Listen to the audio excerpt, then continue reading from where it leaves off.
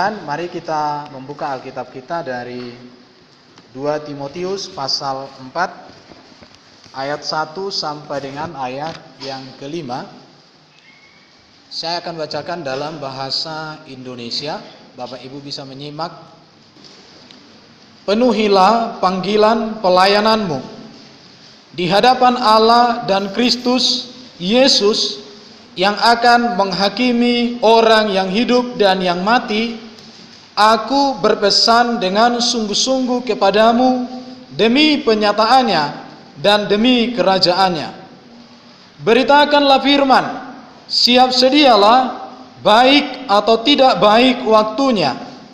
Nyatakanlah apa yang salah, tegurlah dan nasihatilah dengan segala kesabaran dan pengajaran karena akan datang waktunya orang tidak dapat lagi menerima ajaran sehat, tetapi mereka akan mengumpulkan guru-guru menurut kehendaknya untuk memuaskan keinginan telinganya.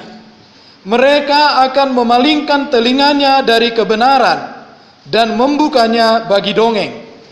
Tetapi kuasailah dirimu dalam segala hal, sabarlah menderita, lakukanlah pekerjaan pemberitaan Injil dan tunaikanlah tugas pelayananmu. Saudaraku yang dikasihi Tuhan, saya ambil tema di sini yaitu setia menunaikan tugas pelayanan. Yang saya tahu ada tiga tugas pelayanan gereja dan ini diakui oleh gereja sedunia. Yang pertama itu adalah pelayanan diakonia, kepedulian, Baru ada juga pelayanan namanya koinonia, persekutuan. Persekutuan yang dibangun di atas dasar Kristus. Persekutuan yang dibangun di dalam nilai-nilai kebenaran Alkitab. Dan yang ketiga itu adalah marturia. Marturia itu artinya bersaksi. Bersaksi itu artinya cerita tentang karya Allah melalui Yesus Kristus bagi penyelamatan manusia kepada mereka yang belum percaya. Itu namanya marturia. Jadi tiga pokok pelayanan inilah yang harus dikerjakan oleh gereja secara sungguh-sungguh. Tiga pokok tugas gereja ini yang harus kita laksanakan. Dan menurut saya pelayanan itu bukan hanya di mimbar. Justru pelayanan mimbar itu bagi saya itu hanya 10% mungkin, nggak nyampe. Karena pelayanan yang sesungguhnya itu adalah di luar mimbar. Setuju kita kan? Kalau di mimbar ini paling khotbah satu jam. Jadi inilah tugas kita yang harus kita kerjakan di hari-hari terakhir ini. Tetapi untuk itu bagaimana kita mengerjakan tugas ini? Kita perlu belajar dari Paulus dan kita perlu belajar dari Timotius. Bapak Ibu yang dikasihi Tuhan, surat 2 Timotius ini ditulis oleh Paulus dari dalam penjara di Roma.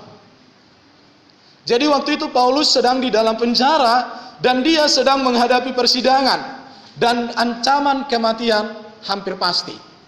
Dan memang Paulus mati teraniaya pada waktu itu. Namun dalam keadaan yang dalam penjara yang menghadapi hukuman kematian, Paulus juga ditinggalkan oleh orang-orang yang selama ini menjadi sahabat dia dalam pelayanan. Jadi Paulus bukan hanya berada dalam keadaan terpenjara, tetapi orang-orang yang ada di sekelilingnya juga pergi meninggalkan dia kepada tujuan masing-masing. Itu bisa kita lihat di dalam pasal 1 ayat 15. Di dalam pasal 1 ayat 15 dikatakan di sini, engkau tahu bahwa semua mereka yang di daerah Asia Kecil berpaling daripadaku, termasuk Figelus dan Hermogenes. Jadi orang-orang yang selama ini menjadi rekan dalam pelayanan, ketika Paulus berada di dalam penjara, mereka sepertinya tidak peduli. Baru kita bisa melihat ini juga di dalam pasal 4 ayat 16. Dikatakan oleh Paulus di dalam suratnya ini dikatakan begini. Pada waktu pembelaanku yang pertama, tidak seorang pun yang membantu aku. Semuanya meninggalkan aku. Kiranya hal itu jangan ditanggungkan atas mereka. Bapak Ibu yang dikasih Tuhan inilah kondisi yang dihadapi Paulus. Surat ini ditulis kepada Timotius yang melayani sebagai seorang gembala muda. Jadi ini kita harus belajar bahwa kita melakukan tugas pelayanan kita yaitu diakonia, koinonia, dan marturia tidak dibatasi oleh ruang dan tempat. Tidak dibatasi oleh organisasi gereja. Tidak dibatasi oleh gedung gereja. Tetapi pelayanan itu dikerjakan di segala tempat, di segala keadaan. Anda di kampus adalah sebagai hamba Tuhan. Bagi saya hamba Tuhan itu bukan hanya pendeta. Tetapi kita semua adalah hambanya Tuhan. Artinya di mana pun kita berada, ada tugas yang Tuhan taruh bagi kita untuk kita lakukan. Untuk kita kerjakan. Maka pelayanan diakonia koinonia dan marturia adalah pekerjaan yang harus kita lakukan dan bukan tanggung jawab pendeta saja bukan tanggung jawab majelis tetapi tanggung jawab semua orang yang merasakan cintanya Yesus dalam dirinya kalau ada cinta Yesus dalam hidup kita masing-masing siapa pun kita apa pun jabatan kita pelayanan marturia pelayanan diakonia pelayanan koinonia adalah beban kita bersama. Jadi jangan ada dalam pelayanan, ah itu tanggung jawab seksi diakonia. Bukan. Karena kita tubuh Kristus. Satu kesatuan. Bekerja bersama-sama. Melangkah bersama-sama. Dalam segala keadaan. Siapa Timotius ini? Kenapa Paulus harus menulis surat dari penjara kepada Timotius? Siapa dia? Mari kita lihat di dalam pasal 1 ayat 4 dikatakan, Pasal 1 ayat 4 Dan apabila aku terkenang akan air matamu yang kau curahkan Aku ingin melihat engkau kembali supaya penulah kesukaanku Bapak Ibu yang dikasihi di Tuhan dikatakan di sini dan apabila aku terkenang akan air matamu yang kau curahkan aku ingin melihat engkau kembali supaya penuhlah sukacitaku ini Timotius orang yang mau mencurahkan air mata. Bukan berarti Timotius cengeng. Tetapi mencurahkan air mata artinya Timotius walaupun masih muda, dia adalah rekan Paulus yang menangisi jiwa-jiwa, menangisi pelayanan, menangisi mereka yang hidup dalam kegelapan. Jadi Paulus ini apa? Timotius ini orang yang cinta Tuhan Orang yang memberikan hatinya secara penuh kepada Tuhan, walaupun dia masih muda. Yang saya tahu Timotius ini usia 16 tahun, dia sudah mengembalakan jemaat di Efesus. Sangat muda. Jadi pemuda di sini sudah mahasiswa, menurut saya lebih tua dari Timotius. Maka kita sebenarnya harus bisa menjadi gembala bagi orang lain. Amin pemuda.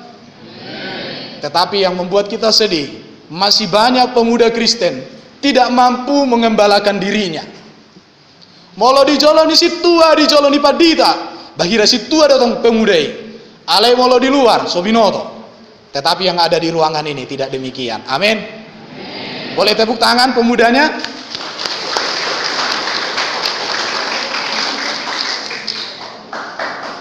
Jadi Timotius ini masih muda, tetapi dia dikatakan peduli dengan pekerjaan Tuhan mencurahkan air mata.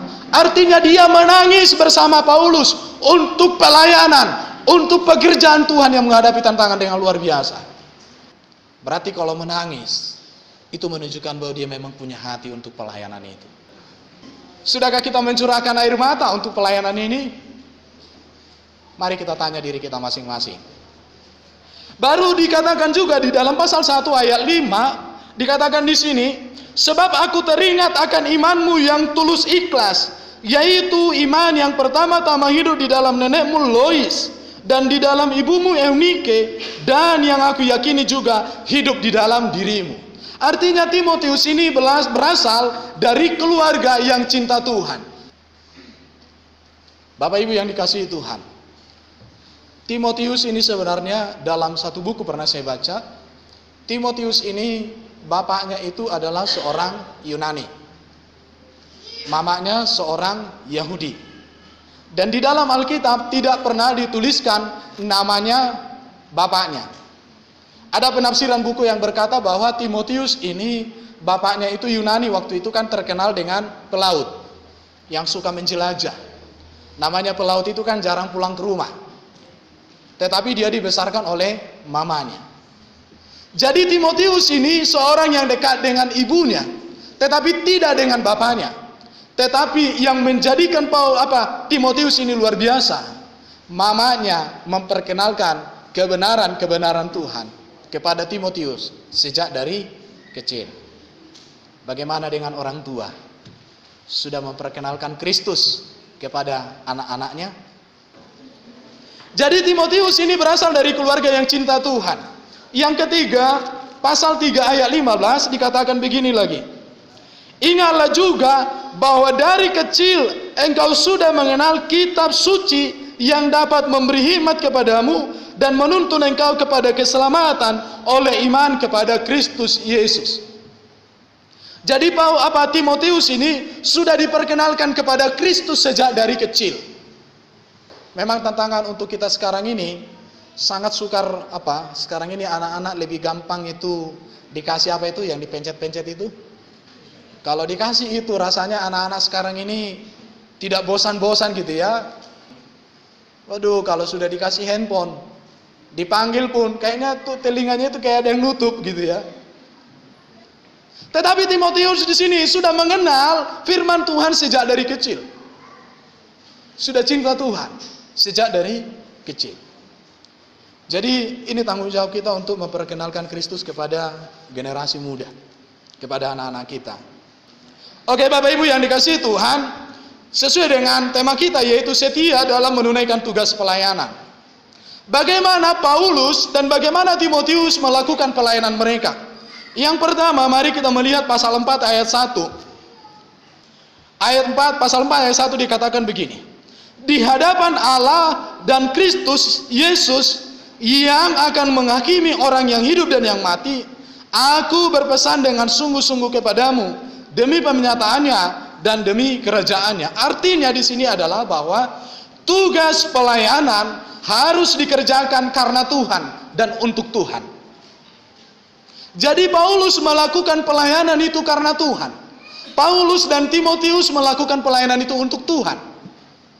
Bukan karena terpaksa. Bukan karena terpaksa. Tetapi karena memang mereka mengerti bahwa mereka melayani itu karena Tuhan dan untuk Tuhan. Ketika Tuhan Yesus datang, ia akan mengangkat gerejanya maka setiap orang percaya, baik yang hidup maupun sudah mati, akan menghadapi penghakiman Kristus. Dan ini bukanlah penghakiman mengenai dosa, tetapi merupakan evaluasi mengenai pelayanan kita. Apa yang kita lakukan? Apakah kita menerima mahkota kebenaran atau tidak, tergantung pada bagaimana cara hidup kita sebagai pengikutnya. Jadi pelayanan itu bertanggung jawab kepada Tuhan yang punya pelayanan. Bukan kepada pemimpin organisasi yang merupakan perpanjangan tangan Tuhan juga. Tetapi tujuan kita melayani itu adalah karena Tuhan dan untuk Tuhan. Makanya Paulus katakan di hadapan Allah dan Kristus Yesus yang akan menghakimi orang yang hidup dan yang mati. Mari kita melakukan pelayanan kita untuk Tuhan. Apa pun yang kita perbuat, perbuatlah untuk Tuhan. Maka karena Paulus mengerti bahwa dia melayani untuk Tuhan, dia melayani karena Tuhan, walaupun dia dalam penderitaan, walaupun dia dalam penganiayaan, dia akan tetap mampu melayani Tuhan. Kalau kita melayani hanya untuk kenyamanan diri kita atau untuk pamer-pamer diri kita, saya pikir kita melayani akan merasa kering. Saya yakin Bapak Majelis di sini semua melayani karena Tuhan. Saya percaya bahwa kita melayani karena Tuhan. Tanpa apa pun yang kita dapatkan, kita akan melakukan pelayanan. Dan itu yang dikerjakan oleh Paulus dan Timotius. Mereka melakukan itu karena Tuhan, semua untuk Tuhan. Makanya dikatakan oleh Paulus dalam Kolose pasal 3 ayat 17 dan 23. Apa pun yang kamu lakukan, lakukanlah dengan segenap hatimu seperti untuk Tuhan kita bertanggung jawab bersama-sama kepada Tuhan. Itu prinsip yang pertama. Yang kedua, Tugas pelayanan harus dikerjakan dalam segala keadaan. Itu dikatakan ayat 2a, dikatakan begini. Beritakanlah firman, siap sedialah, baik atau tidak baik waktunya. Artinya, tugas pelayanan harus dikerjakan dalam segala keadaan. Pelayanan, jadi gini, jangan kita berpikir, tunggu dulu keadaan aman, baru saya melayani. Ini namanya pengecut.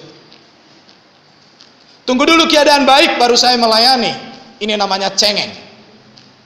Tetapi kita harus melayani Tuhan tidak ditentukan oleh situasi di sekitar kita. Tetapi kita melayani Tuhan ditentukan oleh cinta kita kepada Tuhan itu sendiri. Jangan tunggu keadaan baik baru melayani. Tetapi saya yakin justru pelayanan itulah yang akan mengubah keadaan yang buruk menjadi baik. Jadi jangan dibalik, tunggu keadaan baik baru melayani. Ini terbalik. Tetapi layanilah Tuhan, kerjakanlah pekerjaan Tuhan. Karena dengan kita melakukan pekerjaan Tuhan, keadaan itu diubah oleh Tuhan. Setuju Bapak Ibu? Jadi jangan tunggu keadaan baik baru saya melayani. Layani Tuhan. Biarkan pelayanan karena Tuhan dan untuk Tuhan itu mengubah keadaan menjadi baik. Itu yang harus kita lakukan. Dan itu yang dikerjakan oleh Paulus. Mari kita melihat di dalam pasal 2 ayat 3 dikatakan begini. Ikutlah menderita sebagai seorang prajurit yang baik dari Kristus Yesus. Jadi pelayanan itu bukan apa? Bukan dilakukan dalam keadaan yang enak. Tetapi dilakukan dalam keadaan penderitaan. Bahkan dikatakan di dalam pasal 3 ayat 9 dan ayat 10 dikatakan begini. Karena pemberitaan Injil inilah aku menderita, malah dibelenggu seperti seorang penjahat. Tetapi firman Allah tidak terbelenggu. Karena itu aku sabar menanggung semuanya itu bagi orang-orang pilihan Allah. Supaya mereka juga mendapat keselamatan dalam Kristus Yesus dengan kemuliaan yang kekal. Jadi kita melihat di sini Paulus melayani bukan ditentukan oleh situasi di dalam sekitarnya. Tetapi dia melayani. Maka dikatakan Paulus, dikatakan beritakan firman, kerjakan pelayanan-pelayanan Tuhan baik atau tidak baik waktunya. Kalau kita berbicara tentang baik, itu relatif. Kapan sih kondisi yang baik melayani Tuhan? Kalau pas gajian, enak melayani Tuhan gitu. Atau kalau tidak ada persoalan, enak melayani Tuhan. Menurut saya, orang yang tidak ada persoalan itu hanya satu. Kalau dia mati dalam Yesus masuk surga, baru tidak ada persoalan. Tapi kalau dia mati tidak di dalam Yesus, justru dia menghadapi persoalan yang tidak akan bisa selesaikan dia. Masuk neraka ada dia kan? Penderitaan selama-lamanya. Jadi mari kita melayani Tuhan, jangan tunggu keadaan baik. Jadi di sini dikatakan Paulus menulis surat ini dari dalam penjara. Pelayanan gereja juga berkembang di tengah-tengah aniaya. Justru di tengah ketidak apa? Ketidaknyamanan, gereja mengalami perkembangan. Tetapi kalau nyaman, gereja cenderung tidak berbuat apa-apa. Bapak Ibu yang dikasih Tuhan, yang kedua itu dikatakan tugas pelayanan harus dikerjakan dalam segala keadaan. Nyanyian ibu-ibu tadi, ada perbegu tadi kalimatnya. Menghadapi perbegu harus beritakan Injil. Mau begu gajang, mau begu kurus, mau begu makmok, mau begu podok, beritakan Injil. Amin. Ah, kira-kira begitu. Mau perbeguan, beritakan Injil. Jadi kita harus melakukan. Jangan tunggu dulu semuanya aman. Itu yang kedua. Yang ketiga, Tugas pelayanan harus dikerjakan dengan prinsip apa kata Tuhan. Ayat 2b dikatakan begini. Nyatakanlah apa yang salah, tegurlah dan nasihatilah dengan segala kesabaran dan pengajaran. Jadi pelayanan itu harus dikerjakan apa kata Tuhan. Ya kalau salah katakan salah. Kalau benar katakan benar. Jangan yang salah di apa? Di, dicantik-cantikkan supaya kelihatan jadi bagus, itu nggak bagus. Pelayanan itu harus dikerjakan dengan jujur. Jadi pelayanan tidak benar jika dilakukan atas pesan sponsor atau karena keinginan dan visi terselubung. Ya, tidak boleh. Pelayanan bukan tentang aku, tetapi tentang Tuhan dan kebenarannya. Pelayanan yang dikerjakan atas pesan sponsor itu hanya memuaskan manusia, bukan Tuhan. Pelayanan harus menyatakan yang salah sebagai yang salah dan menegur dan menasihati dengan kesabaran. Pelayanan harus memberitakan firman Tuhan secara murni. Bapak Ibu yang dikasih Tuhan, mari kita belajar untuk menyampaikan kebenaran firman Tuhan itu secara murni. Itu yang ketiga. Yang keempat, tugas pelayanan berarti siap berkompetisi dengan dunia ayat 3 sampai dengan 4 dikatakan begini karena akan datang waktunya orang tidak dapat lagi menerima ajaran sehat tetapi mereka akan mengumpulkan guru-guru menurut kehendaknya untuk memuaskan keinginan telinganya. Mereka akan memalingkan telinganya dari kebenaran dan membukanya bagi dongeng. Artinya dalam pelayanan itu kita kompetisi dengan dunia ini. Menunda berarti bermain-main atau menunda atau bermain-main mengerjakan pelayanan berarti membuka peluang atau kesempatan besar bagi kehidupan yang duniawi menguasai kehidupan jemaat. Dunia menggunakan berbagai cara untuk menarik orang, membuat orang nyaman dalam dunia itu sendiri. Maka gereja juga harus melakukan bagaimana menghadapi itu. Apa yang kita lakukan untuk menghadapi tantangan zaman ini? Di dalam ayat ini yang menjadi musuh daripada pelayanan Timotius itu adalah pasal 2 ayat 7 dikatakan 17 dikatakan begini ayat 17 perkataan mereka menjalar seperti penyakit kanker di antara mereka termasuk Himeneus dan Filetus Himeneus dan Filetus ini adalah bidat gnostik yang menyangkal bahwa di masa depan ada kebangkitan orang mati Paulus memberitakan bahwa ada kebangkitan orang mati. Tetapi di sisi lain ada orang yang lebih giat lagi memberitakan tidak ada kebangkitan. Ada lagi yang menjadi tantangan mereka adalah Yanes dan Yambres. Pasal 3 ayat 8 sampai 9. Pasal 3 ayat 8 9 dikatakan, sama seperti Yanes dan Yambres menentang Musa, demikian juga mereka menentang kebenaran. Akal mereka bobrok dan iman mereka tidak tahan uji. Tetapi sudah pasti mereka tidak akan lebih maju karena seperti halnya dalam Yas dan Abres, kebodohan mereka pun akan nyata bagi semua orang. Yanes dan Yambres ini orang yang membuat mujizat menandingi apa yang dilakukan oleh Musa di Mesir. Ketika Musa membuat air jadi darah, mereka juga buat begitu. Ketika Musa membuat ular jadi tongkat jadi ular, mereka juga begitu. Sekarang ini ada banyak peniruan-peniruan yang terjadi di sekitar gereja. Oleh karena itu maka pelayanan kita harus bisa menangkal, harus bisa berkompetisi dengan mereka. Maka pelayanan di gereja ini pun harus kita pikirkan, harus dipikirkan oleh semua jemaat, semua majelis, bagaimana membuat pelayanan ini semenarik mungkin. Saudaraku yang dikasih Tuhan, maka kita harus berpikir, pengajaran-pengajaran yang menentang kebenaran firman Tuhan sangat banyak di luar sana. Karena pengajaran-pengajaran sesat hari-hari ini semakin marak. Kalau kita tidak berkompetisi dengan mereka, maka kita akan digilas oleh mereka. Dan itu terjadi pada zaman Paulus. Itu terjadi pada zaman Timotius. Para apa Paulus dan Timotius mempertaruhkan nyawanya memberitakan Injil. Tetapi di sisi lain, para pengajar-pengajar sesat, pengajar-pengajar palsu juga melakukan hal yang sama. Oleh karena itu maka gereja ini harus berpikir ke sana.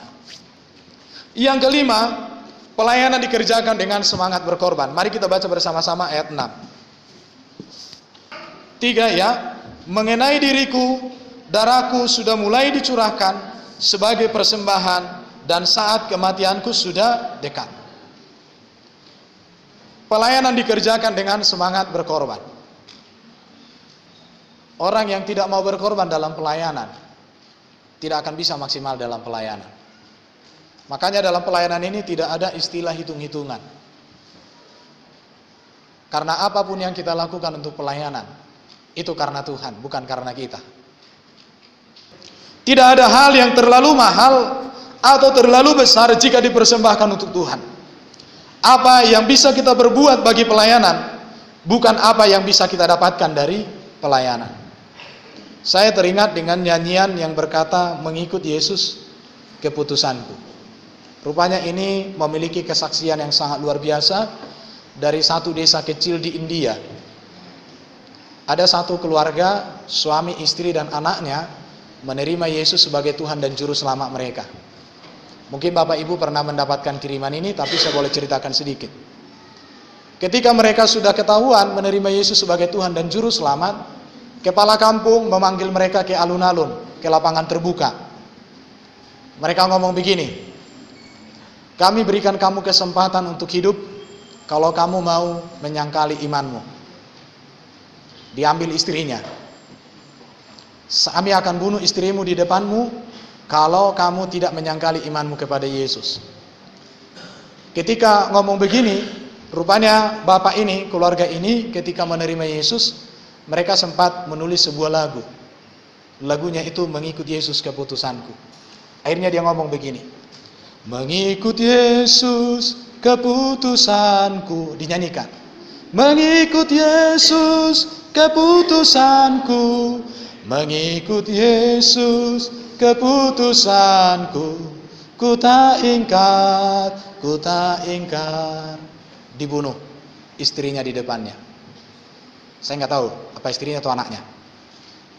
Baru dibilang, saya beri kamu kesempatan lagi kalau kamu tidak menyangkali imanmu, anakmu yang akan dibunuh atau istrinya itu. Baru dia nyanyi begini lagi. Walau sendiri ku ikut Yesus. Walau sendiri ku ikut Yesus. Walau sendiri ku ikut Yesus. Ku tak ingkar, ku tak ingkar. Dibunuh. Satu. Kami berikan kamu kesempatan untuk menyangkali imanmu. Kalau tidak, kamu akan kami bunuh. Dia nyanyikan. Salib di depan, dunia di belakang. Salib di depan, dunia di belakang. Salib di depan, dunia di belakang. Ku tak ingkar, ku tak ingkar. Dia pun dibunuh juga saat itu. Lagu itu memiliki makna yang sangat luar biasa. Tidak ada hal yang terlalu mahal jika itu kita persembahkan untuk Tuhan. Kalau ada orang berasa berjasa karena memberi sesuatu untuk pelayanan Tuhan, jangan-jangan dia bukan memberi untuk Tuhan, tapi dia memberi untuk egonya. Oleh karena itu Bapak Ibu yang dikasih Tuhan, pelayanan harus dikerjakan dengan semangat berkorban. Amin. Saya tidak tahu bagaimana tantangan iman kita. Kalau Bapak Ibu mau membaca tentang riwayat 11 murid Yesus, tambah Matias menjadi 12 murid Yesus. Tidak ada satu orang pun yang mati dengan tenang. Barangkali boleh dikatakan hanya Yohanes. Tetapi dia sebenarnya dianiaya, dia dihukum, dia digoreng. Tetapi karena tidak mati, akhirnya dia dibuang ke Pulau Patmos. Di sana dia sebagai buruh kasar dan di Pulau Patmos dia mendapatkan penglihatan, menuliskan kitab Wahyu. Yang lainnya itu mati teraniaya. Ada yang diseret-seret pakai kuda. Ada yang disalibkan huruf X. Ada yang disalibkan terbalik. Ada yang ditombak dianiaya. Ada yang di apa? Dipenggal. Jadi pelayanan pekerjaan Tuhan harus dikerjakan dengan semangat berkorban. Amin. Amin. Tidak ada yang terlalu mahal untuk dikorbankan bagi Kristus. Saya rindu kita semua memberikan hidup kita untuk Tuhan.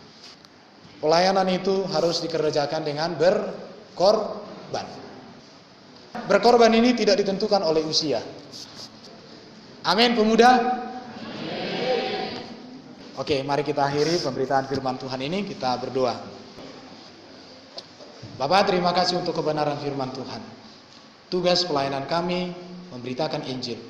Tugas pelayanan kami untuk peduli hal-hal sosial kepada orang lain. Tugas pelayanan kami untuk bersekutu, beribadah, berbakti pada Tuhan. Ajar kami melakukan ini dengan penuh tanggung jawab, tanggung jawab kepada Tuhan. Dengan penuh rasa pengorbanan untuk berkorban bagi Tuhan. Terima kasih materaikan kebenaran firman-Mu bagi setiap kami.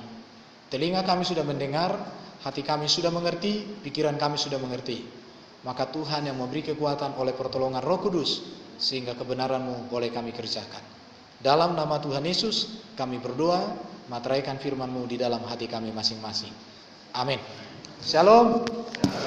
Tuhan memberkati kita semua.